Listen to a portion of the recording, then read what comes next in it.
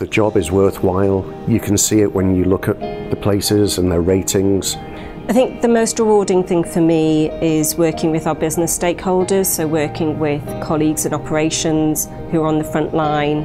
The work that we do and the difference that we make is extremely rewarding for me, and I feel really humble and grateful to play a small part in offering solutions that contribute towards that.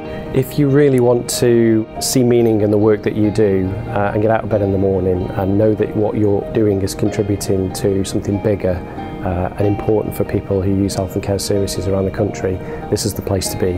Uh, the work we do is, is long lasting and the impact is far reaching. So I would encourage uh, people to think about their work, think about the meaning behind that work and uh, have a look at the CQC.